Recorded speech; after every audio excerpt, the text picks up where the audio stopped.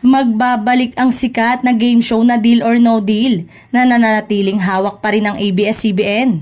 Sa kanilang annual stockholder meeting noon ay ibinunyag ni ABS-CBN President at Chief Executive Officer Carlo Katigbak na hawak pa rin nila ang international franchises ng ilang pamosong talent, game at reality show gaya ng Pinoy Big Brother, Idol Philippines, Mini to Win It at Deal or No Deal. Sa katunayan, magkakaroon ng mga bagong season ng mga nasabing programa. Aabangan naman ng mga kapamilya at loyal viewers ang bagong season ng nabanggit na palabas kung sino ang mag-host nito, maging ang 26K girls na hawak ng briefcases.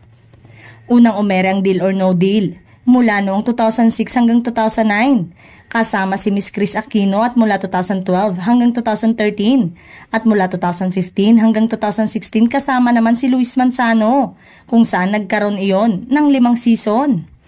Ngayon ay nananatili pa rin kapamilyang franchises ng mga naturang sikat na shows.